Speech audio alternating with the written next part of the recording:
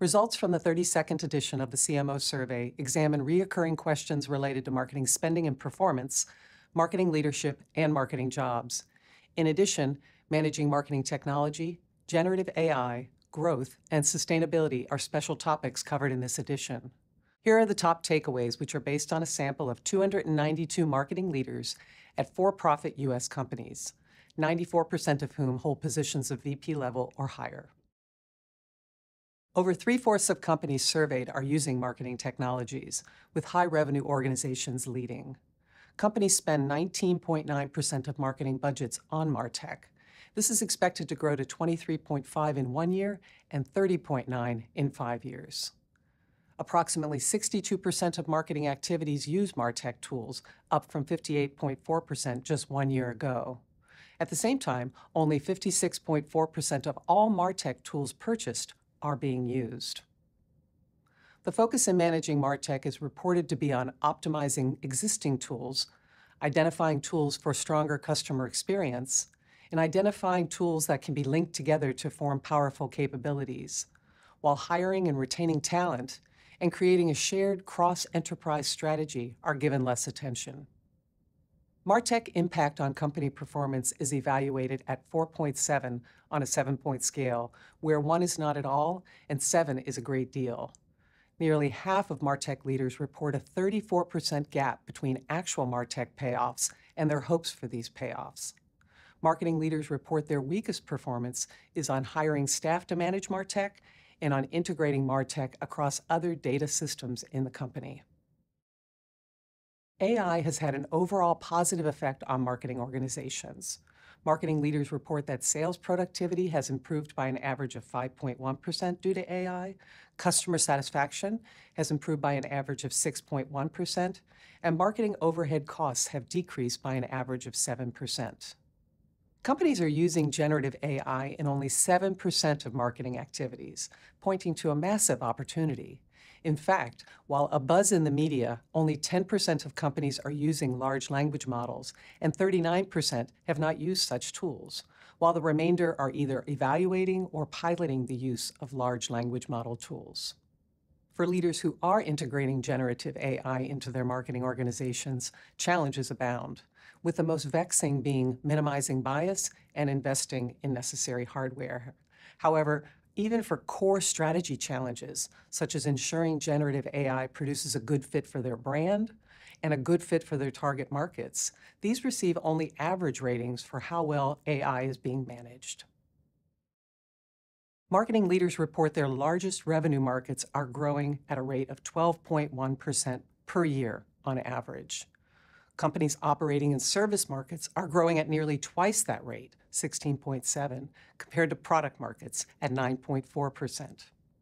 Focusing on their own companies, average revenues are growing faster than markets at 16.4%, with B2B companies growing faster at 19.1% than B2C companies at 11.5. In explaining why their companies are growing faster than markets, leaders cite strategy differentiation, go-to-market capabilities, and strategy execution as the top reasons. For those growing at slower rates than markets, leaders cite underfunded strategies, not having the right go-to-market capabilities, and undifferentiated strategies as the top reasons. Spending on sustainability or climate-related issues increased to 1.9% of marketing budgets in the last year, from 1.2% a year ago. These budgets are predicted to increase to 2.8% in one year and 4.5% in five years. This growth is predicted to be especially prominent within B2B services companies. However, nearly one-third of companies are not using marketing to address climate change risks, especially in sectors like B2B product and B2C services.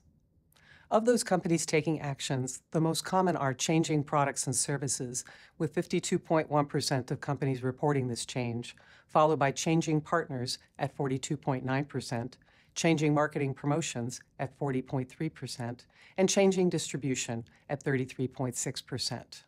These levels have not yet reached those reported during the COVID-19 pandemic in 2020. 25.6% of companies are adopting climate-related metrics, up from 18.7% two years ago.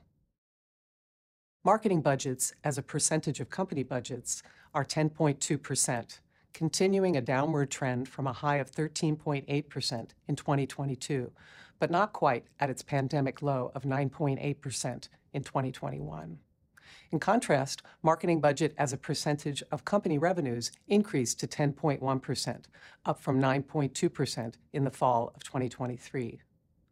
Overall marketing spending is expected to grow by 4.7% from an actual growth of 2.5 in the last year, while digital marketing spending growth is expected to cool to 8% from 8.9% actual growth in the last year. Relative to the prior 12 months, growth in spending on customer relationship management, brand building, and customer experience are predicted to slow in the next 12 months. While the overall level of investments remain positive, the drops in CRM investments from 6.2% to 3.9% and in brand building from 5.5% to 3.9% are dramatic. Marketers anticipate social media spending will increase from 11% in the current period to 12.2% in the next 12 months and back up to 16.3% in the next five years, a spending level that was actually achieved in 2023. When asked how they would spend an extra $1 million of marketing budget, marketing leaders reported they would be most likely to use it to hire and develop talent. This is followed by digital advertising and marketing, brand building and awareness, and AI or automation. Optimism about the U.S. economy remains consistent at 67. This is on a 100-point scale where zero is least optimistic and 100 is most optimistic. After recent drops in optimism due to the dual threats of recession and inflation, this level continues to climb back in line with the post-pandemic high of 69.6 in August of 2021.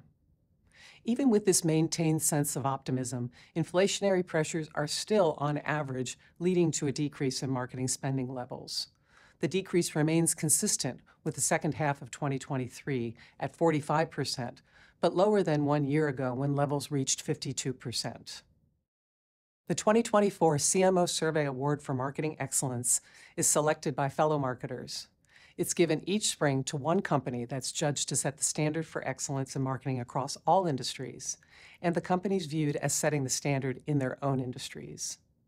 Apple Inc. is the overall winner for the 16th straight year. Industry winners include Amazon, Nike, the Procter & Gamble Company, State Farm Insurance, and Microsoft.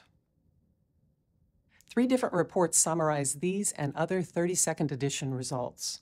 The Highlights and Insights report shares key survey metrics and trends and insights over time.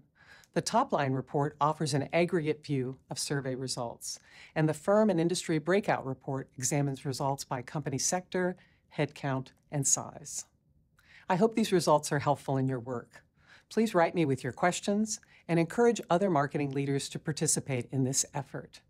Your referrals are a great boost to our efforts to serve the profession with the CMO survey.